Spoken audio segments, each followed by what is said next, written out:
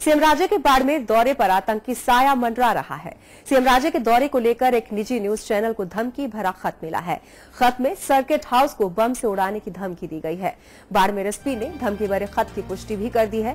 आपको बता दें कि तेईस अक्टूबर को सीएम राजे बाड़मेर के दौरे पर रहेंगी। तो दौरे को लेकर धमकी भरा खत मिला है और सर्किट हाउस को उड़ाने की धमकी दी गई है। खत जो धमकी भरा खत भेजा गया है। इसकी पुष्टि भी कर दी गई है अधिकारियों के द्वारा। तेईस अक्टूबर को सीएम बाड़मेर दौरा करने वाली है और इसी दौरे को लेकर धमकी भरा खत भी भेजा गया है। तो सर्किट हाउस को उड़ाने की धमकी दी गई है। इस खत में एक निजी न्यूज़ चैनल को ये खत भेज दिया गया है और इसकी पुष्टि भी अधिकारियों द्वारा की गई है। इस खत की पुष्टि की गई है कि वाकई सर्किट हाउस को उड़ाने के लिए धमकी भरे खत भेजे गए हैं।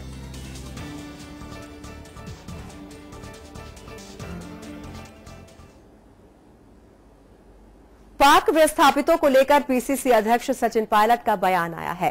पायलट ने राजस्थान में आए पाक विस्थापितों को लेकर केंद्र और प्रदेश सरकार से संवेदनशील रवैया अपनाने की मांग की है। पायलट ने कहा है कि पाकिस्तानी लोग भारत के वीज़ा पर कुछ समय पहले पहुँचते हैं और उन्होंने अब पाकिस्तान जाने से इनकार करते हुए सरकार से मांग की है। लिहाजा अब इन्हें स्थायी तौर पर प्रदेश में रहने की स्वीकृति प्रदान कर देनी चाहिए। सचिन पायलट ने मांग की है कि सरकार मानवीय आधार पर इस प्रकरण का जल्द निपटारा करे। बीजेपी का घोषणा पत्र एक झूठ का पुलिंदा है।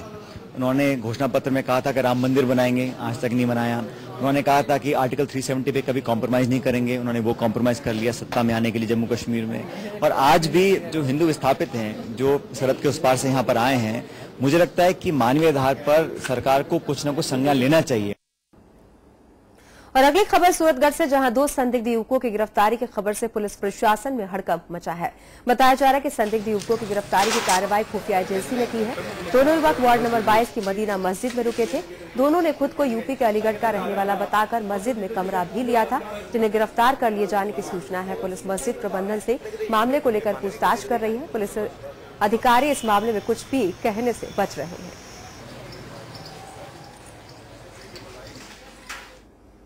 खान आवंटन घूसकांड मामले को लेकर दिल्ली से आई सीएजी टीम ने अब दस्तावेज़ खंगालना शुरू कर दिया है।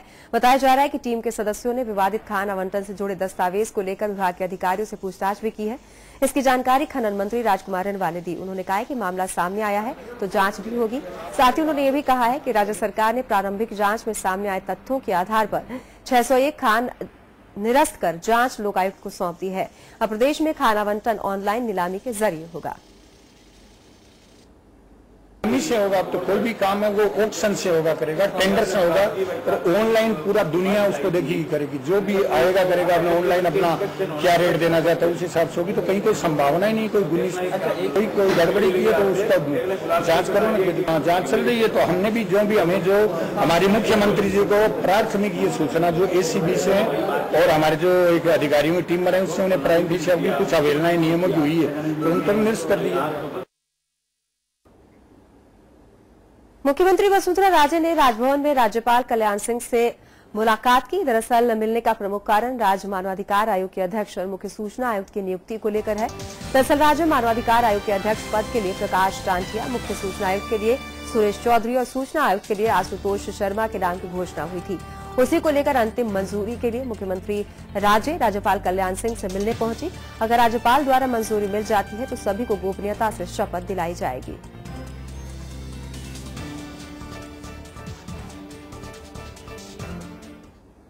वहीं पीसीसी चीफ सचिन पायलट के नेतृत्व में कांग्रेस प्रतिनिधिमंडल ने भी राज्यपाल कल्याण सिंह से मुलाकात की। कांग्रेस प्रतिनिधिमंडल ने राज्यपाल कल्याण सिंह को ज्ञापन सौंपा, जिसमें राज्यपाल से विधानसभा में पारित किए गए राजस्थान सहकारी सोसाइटी अधिनियम के संशोधन को अनुमोदित नहीं करने की मांग की गई। कांग्रेस नेताओं का आरोप है कि संशोधन के ज़रिए रजिस्ट्रार को संविधान की भावना के खिलाफ जाकर शक्तियाँ दी गई है। कांग्रेस का आरोप है कि सूबे में समय पर सहकारी समितियों, डेयरों के चुनाव नहीं करवाए जा रहे हैं, जिससे राज्य सहकारी प्राधिकरण का गठन करने करने के उद्देश्य पर ही सवाल उठता है। देश की पार्लियामेंट ने और उसके बाद महामहिम राष्ट्रपति जी ने एक कानून बनाकर देश भर में लागू किया था और उसमें ये बाध्य किया गया था सब सरकारों को कि सही समय पर चुनाव हो जिस प्रकार सरपंच, प्रधान, प्रमुख का एक दिन का कार्यकाल भी नहीं बढ़ा सकती कोई सरकार, ठीक उसी तरह जो कॉपरेटिव की सोसाइटीज हैं बैंक्स हैं, डेयरी के बोर्ड्स वगैरह हैं उनका भी कार्यकाल बढ़ाने की ताकत राज्य सरकार के पास नहीं है। ये जिलों में पिक एंड चूज़ कर रहे हैं। जहाँ इनको सूट नहीं करता, वहाँ के चुनाव लॉ एंड ऑर्डर के नाम निरस्त कर देते हैं। इन्होंने एक तरह से इसको पोलिटिकली बना रखा है। भरतपुर डेयरी का, भीलवाड़ा डेयरी का, जहाँ डायरेक्टर्स के चुनाव हो गए, वहाँ दस लोगों को वोटिंग करनी है, वहाँ लॉ एंड ऑर्डर खराब है। शिवसेना के विरोध के बाद बीसीसीआई और पीसीबी के बीच वार्ता रद्द होने के मुद्दे पर राजनीति तेज हो गई है। तो विदेश राज्य मंत्री वीके सिंह का कहना है कि भाजपा के बीच तनाव जैसी कोई बात नहीं है। किसी भी छोटी बात को तूल नहीं दिया जाना चाहिए। ये बात उन्होंने जयपुर के शाहपुरा में दी एक बचाव में कही है। पाकिस्तान के साथ क्रिकेट खेलने को लेकर शिवसेना के विरोध को लेकर उन्होंने कहा कि इन बातों पर ध्यान देने की ज़रूरत भी नहीं है। भारत की विदेश नीति बिल्कुल साफ़ है कि हम चाहते हैं कि सभी देशों के साथ सौहार्दपूर्ण रिश्ते हो और इसके लिए अच्छा वातावरण भी हो। इससे पहले शाहपुरा के मिडवे परिसर में बीजेपी कार्यकर्ताओं ने मंत्री वीके सिंह का जोरदार स्वागत किया।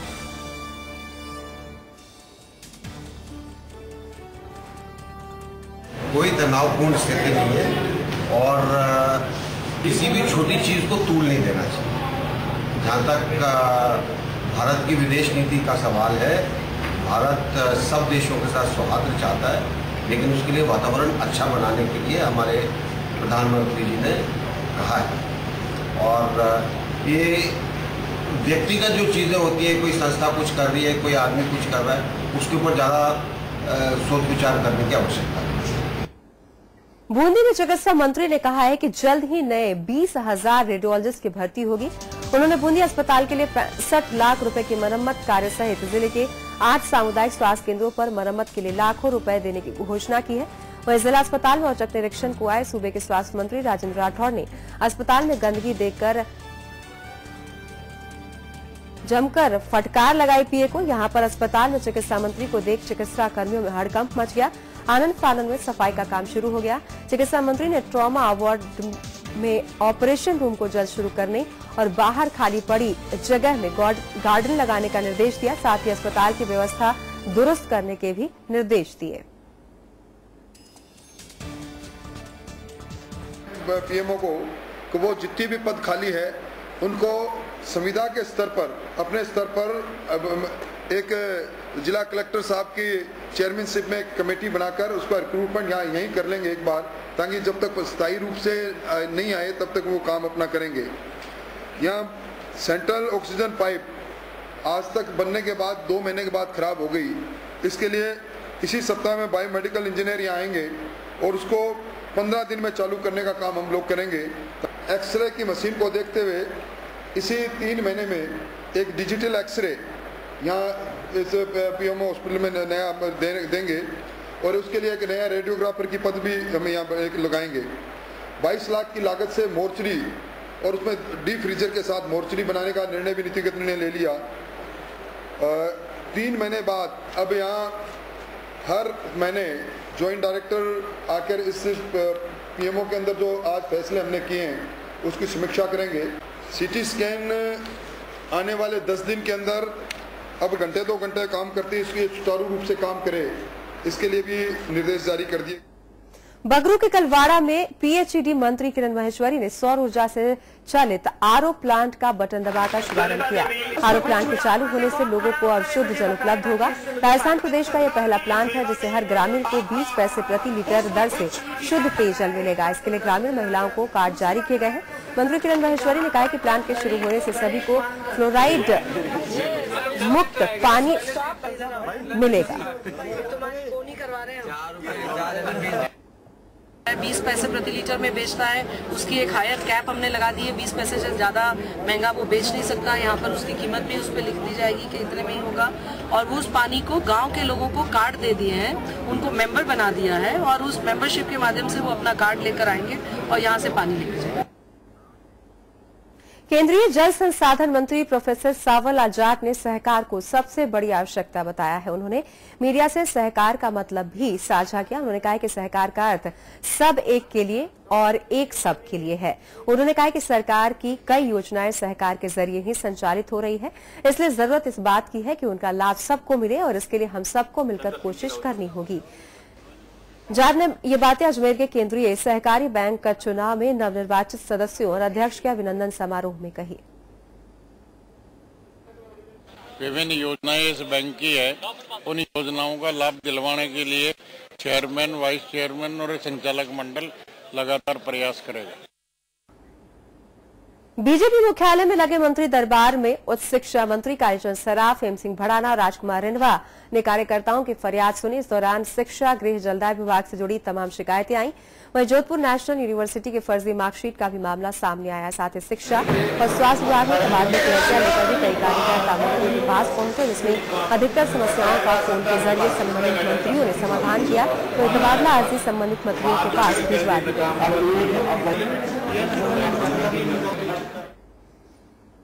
मुख्यमंत्री वसुंधरा राजे ने इंदिरा गांधी पंचायती राज संस्थान में महात्मा की स्मृतियाँ चल प्रदर्शनी का अवलोकन किया। जयपुर में आईएस चलती प्रति प्रदर्शनी में राष्ट्रपिता के जीवन दर्शन के फ़ोटो, ऑडियो, वीडियो के माध्यम से दर्शाए गए हैं। परिसर में खादी स्टॉल्स को भी सीएम राजे ने देखा। उन्होंने कहा कि राज्य सरकार प्रदेश में खादी ग्रामोद्योग कला पेंटिंग रंगाई छपाई हस्तशिल्प को बढ़ावा देकर नौजवानों को इनसे जोड़ने का काम कर रही है। वहीं उन्होंने कहा कि महात्मा गांधी ने चरखा और ग्रामोद्योग से लोगों को जोड़कर ही अंग्रेज़ों को भारत छोड़ने के लिए मजबूर किया था। और खादी उस वक्त हमारी जनचेतना का ज़रिया तो थी। हम लोग सब में अपने अपने क्लासेस में छुटपन से पढ़ते हुए आ रहे हैं।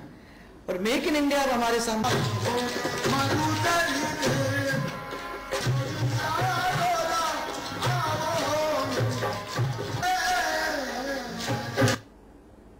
मेक इन इंडिया अब हमारे सामने आया है, दोनों एक साथ किस तरीके से जुड़ते हैं?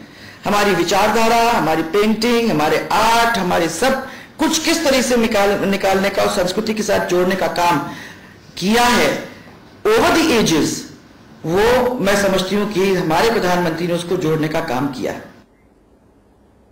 कुलपति नियुक्ति को लेकर विश्वविद्यालय अनुदान आयोग ने अपने तेवर तल्ख कर लिए हैं। आयोग प्रदेश में कुलपतियों की नियुक्तियों में यूजीसी के नियमों को दरकिनार करने से खफा है, जिसके बाद अब सरकार कुलपतियों की नियुक्तियों के लिए विधेयक लाएगी। उच्च शिक्षा विभाग ये विधेयक आगामी विधानसभा सत्र में लाने की तैयारी कर रहा है। आपको बता दें कि सूबे में 80 विश्वविद्यालय हैं, जिनमें 40 निजी विश्वविद्यालय शामिल हैं। इस बीच खुद उच्च शिक्षा मंत्री कालीचंद सराफ ने भी यूजीसी की तरफ़ से उठे इस ऑब्जेक्शन को स्वीकारा है और कहा है कि कुलपति की नियुक्ति तय नियमों से हो, इसके लिए नियमों को शामिल करते हुए विधेयक लाया जाएगा। उच्च शिक्षा विभाग की ओर से राज्य के पैंसठ नए निजी महाविद्यालयों को अस्थायी एनओसी जारी किए गए हैं। उच्च शिक्षा मंत्री कालीचंद सराफ ने शिक्षा संकुल में साल के लिए महाविद्यालयों को अस्थायी एनओसी जारी कर दिए हैं। इन कॉलेजों को मिलाकर अब तक राज्य में 110 निजी महाविद्यालयों के संचालन के लिए एनओसी जारी की गई है। शिक्षा मंत्री कालीचंद सराफ ने कहा कि इन कॉलेजों के अलावा तिरासी कॉलेज ऐसे हैं जो निर्धारित मानदंड का पूरा, मानकों को पूरा नहीं कर पाए जिन्हें अस्थायी एनओसी जारी करने से इनकार कर दिया गया है।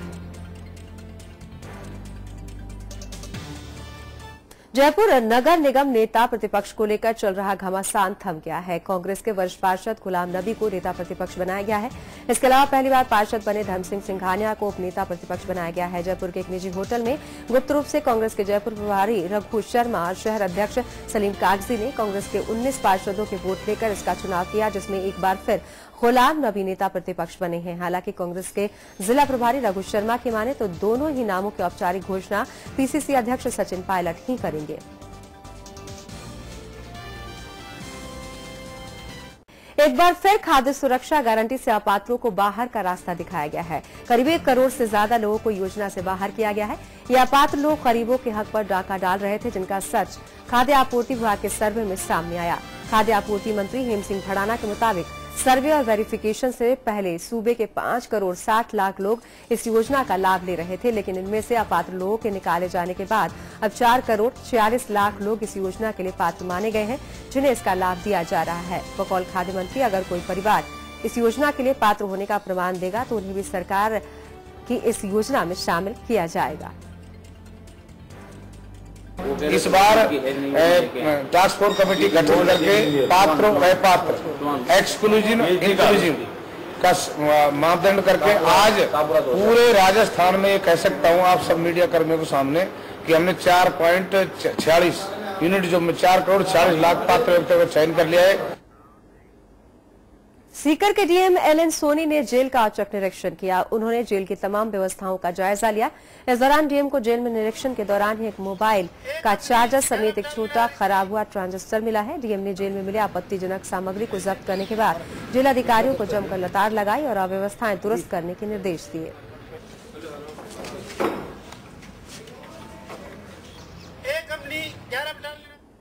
कोटा से रोंगटे खड़ी करने वाली तस्वीरें सामने आई है। सड़क हादसे की तस्वीर आपको विचलित भी कर सकती है। घटना गुमानपुरा थाना क्षेत्र की है, जहाँ दर्दनाक सड़क हादसा पेश आया।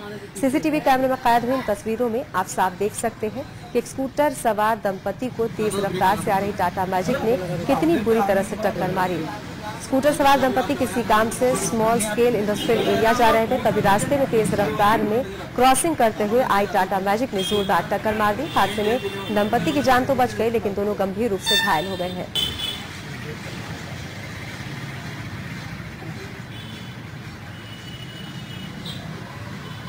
अब ये माने तो टीचर्स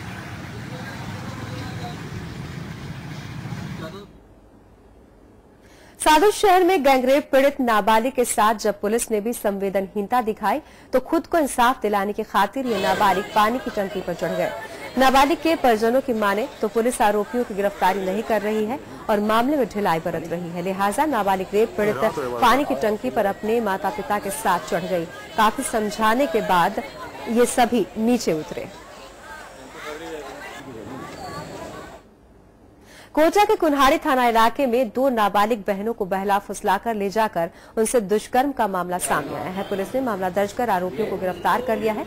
पुलिस की माने तो एक मजदूर की दो नाबालिग बेटियों के साथ दुष्कर्म हुआ है। घटना सत्रह अक्टूबर की है, जब बच्चियों का पिता काम पर गया था। मौका पाकर दूसरी बस्ती के रहने वाले शाहरुख और साजिद ने मजदूर की नाबालिग बेटियों को बहला, फुसलाकर अपने साथ ले गए और बच्चों को बंधक बनाकर दुष्कर्म किया। बहरहाल दोनों आरोपी पुलिस की गिरफ्त में है। आरोपियों से पूछताछ की जा रही है।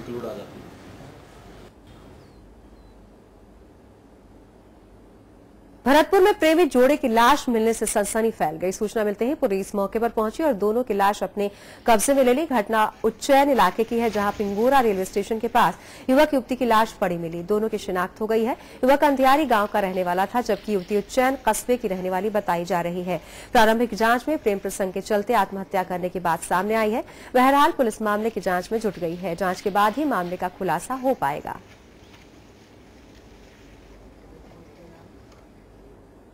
प्रदेश में बच्चियाँ सुरक्षित नहीं है। ताज़ा मामला शाहपुरा का है, जहाँ विराटनगर में 14 साल के बच्चे के साथ सात युवकों ने गैंगरेप किया। पुलिस ने पाँच आरोपियों को गिरफ़्तार कर लिया है।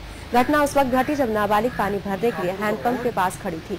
इसी दौरान गाँव के ही कुछ युवक वहाँ पहुँचे और नाबालिग को अगवा कर उसके साथ रेप किया। लापता बच्ची को पुलिस ने तीन दिन बाद खोज निकाला। पीड़ित ने बताया कि आरोपी पहले भी उसे परेशान करते हैं। मंचलों के डर से उसने स्कूल जाना तक छोड़ दिया। बहरहाल पुलिस फरार आरोपियों की तलाश में जुट गई है।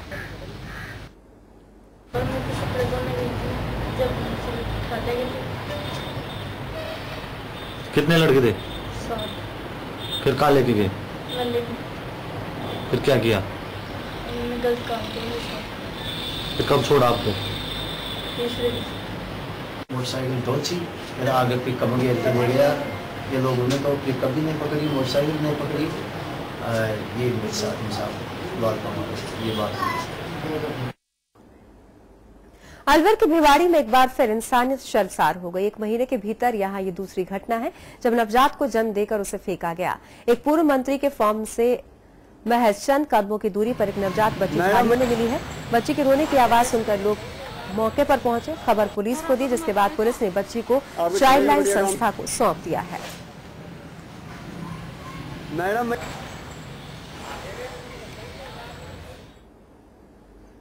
झुंझुनू के पीडब्ल्यूडी में कार्यरत महिला जेएन नीलम अपने ही बनाए जाल में फंस गई। दरअसल मामला पारिवारिक है, लेकिन इसमें जो नया पेश आया महिला जेएन की नौकरी पर तलवार लटक गई। आपको बता दें कि हरियाणा के रहने वाली जेएन नीलम ने 2014 में अपने पति सुमित के खिलाफ दहेज प्रताड़ना का मामला झुंझुनू में दर्ज कराया था। इस मामले में पति की गिरफ्तारी भी हो चुकी है, लेकिन अब जेएन के पति के हाथ जो कागजात लगे हैं, जिसमें नीलम पर धोखाधड़ी और सरकारी नौकरी ज्वाइन करते वक्त गलत जानकारी दिए जाने का आरोप है। इस मामले को लेकर नीलम पर केस दर्ज हो गया है और पुलिस ने मामले की जाँच शुरू कर दी है। धारा 420, 467, 468, 471 आईपीसी का इस्तगासा पेश किया था।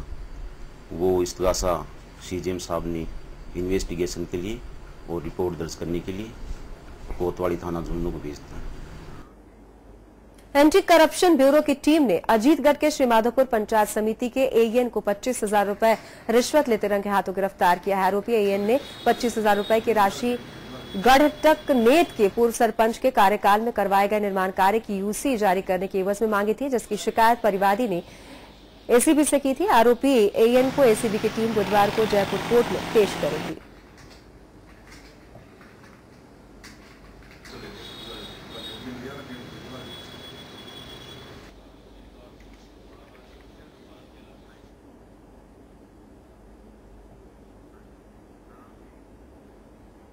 टोंक में एक बार फिर समाचार प्रेस की खबर का असर हुआ है। खबर दिखाने के बाद विभाग हरकत में आया।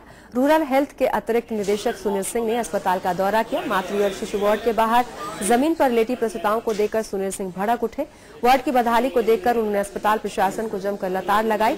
साथ ही तीन कर्मचारियों को कारण बताओ नोटिस भी जारी किया है। इतना ही नहीं, अस्पताल में भर्ती मरीजों के रिकॉर्ड में गड़बड़ी मिलने पर उन्होंने खासी नाराज़गी जताई।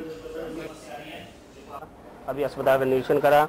और मैं, मेरे को ये थोड़ी सी भी कहते हुए खुशी भी है कि उस निरीक्षण के बाद जो माननीय मंत्री मोदी द्वारा दिशा निर्देश दिए गए थे उसके क्रम में कुछ काम हुआ है। पर ठीक है जो कमियाँ हैं उसको हम धीरे धीरे पूरी करने की कोशिश करें अलवर के सबसे बड़े सरकारी अस्पताल की अव्यवस्था ने एक शख्स की ज़िंदगी छीन ली। ज़िले के नगला मोदिया गाँव का एक शख्स गंभीर हालत में अस्पताल पहुँचा है। पहले तो उस अस्पताल में स्ट्रेचर नहीं मिला। दूसरी बात यह कि लंबी कतार की वजह से उस वक्त पर्ची भी नहीं मिली और उसे इलाज के अभाव में ही अस्पताल में दम तोड़ दिया। जब इस बात की जानकारी स्वास्थ्य मंत्री राजेंद्र राठौड़ को लगी तो उन्होंने तुरंत इस मामले की जाँच के आदेश दे दिए। जयपुर से जाँच टीम अस्पताल पहुँची। जाँच के बाद एक नर्सिंग कर्मचारी को एपीओ कर दिया गया है। वे अस्पताल प्रशासन को कारण बताओ नोटिस जारी किया गया है। राजस्थान की राजधानी जयपुर में डॉक्टर्स के पास एक अलग तरह का केस आया है। एक पाँच साल का बच्चा है जिसके सीने में दिल दाई तरफ़ है। यही नहीं, दिल के साथ साथ लेबर स्टोमक भी दाई तरफ़ ही है। डॉक्टर्स की भाषा में से डेस्ट्रोकार्डिया विद साइट्स इन्वर्सस की बीमारी कहते हैं, लेकिन ये बच्चा अब स्वस्थ है। बच्चा राजस्थान के करौली ज़िले का रहने वाला है और उसके पिता का कहना है कि जब बच्चा एक महीने का था, तब इस बीमारी का पता चला। वहीं इलाज कर रहे डॉक्टर का कहना है कि बीमारी पाँच लाख बच्चों में से एक बच्चे को होती है। जब देखा सोनोग्राफी करा के तो इसके सारे ऑर्गन्स लिवर दिल्ली आंत अन्य ऑर्गन भी रोटेट हो गए हैं। और जो राइट साइड में स्टमक स्टमक का डोम है, वो लेफ़्ट साइड की जगह राइट में हो गया है, लिवर राइट की जगह लेफ़्ट में हो गया है, तिल्ली लेफ़्ट की जगह राइट में हो गई है। तो ये सब इसको बोलते हैं साइटस इन्वर्सस। सो इसको डेस्टोकार्डिया विद साइटस इन्वर्सस, ये बीमारी थी। पंजाब के तरनतारन में फैली अराजकता के बाद वैष्णो देवी यात्रा पर गए करीब छप्पन यात्रियों का अब तक कोई सुराग नहीं लगा है यात्रियों के परिजनों से संपर्क नहीं होने पर परिजनों ने ब्यावर उपखंड अधिकारी को ज्ञापन सौंपा है। परिजनों को खोजने की गुहार भी लगाई है। आपको बता दें कि 11 अक्टूबर को ब्यावर से पाँच दिन की यात्रा पर सभी तीर्थयात्री निकले थे, जो अब तक उनका कुछ भी पता नहीं चला है। पंजाब में फंसे हुए हैं लोग जो यहाँ से पैंसठ यात्री गए हैं। तो उनका अभी तारीख 16 से यहाँ कोई अता पता, हमें पता नहीं लग रहा है। टेलीफोन वगैरह कोई सुविधा वहाँ से मिल नहीं रही है। तो फादर मदर यहाँ से यात्रा पर गए हुए हैं? करीब पैंसठ यात्री ब्यावर के गए हुए हैं यात्रा पे। अमृतसर और वैष्णो देवी। वो करीब पंद्रह तारीख की शाम से पंजाब में अटके हुए हैं। वहाँ कोई धार्मिक लपड़ा हुआ उसकी वजह से। जोधपुर में रावण का मंदिर है। रोज़ाना उसमें पूजा भी की जाती है। रावण के साथ उसकी पत्नी मंदोदरी की प्रतिमा भी स्थापित है। ऐसी मान्यता है कि जोधपुर रावण का ससुराल था, यानी लंका का रावण भारत का दामाद बना। मारवाड़ की राजधानी मंदोर रावण की ससुराल थी, जहाँ मंदोदरी को ब्याहने के लिए रावण यहाँ बारात लेकर आया था। रावण की ससुराल की जगह अब विशाल बगीचा है। हर साल लाखों देशी विदेशी पर्यटक इस मंदोर गार्डन को देखने आते हैं। जो पहले विशाल किला हुआ करता था बताया जाता है कि पंडित के श्राप की वजह से किला उल्टा हो गया किले की खुदाई में अवशेष नज़र आने लगे हैं वो जगह है जहाँ रावण की शादी हुई थी वो तस्वीर भी हम आपको दिखा रहे हैं जहाँ रावण ने मंदोदरी के साथ साथ फेरे लिए थे इस जगह को रावण की चबरी यानी मंडप के नाम से जाना जाता है